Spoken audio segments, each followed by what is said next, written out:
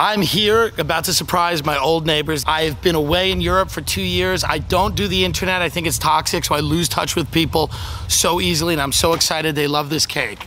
They're gonna flip. Jeff? Ghislaine? They're like the best people. I mean, they ran some charity for women or something.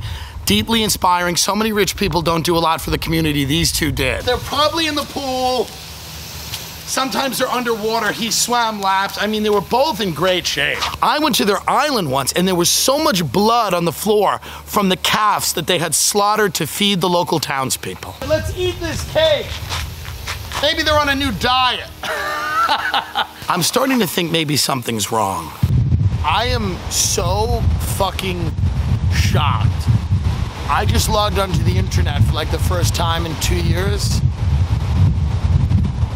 Donald Trump is fucking racist?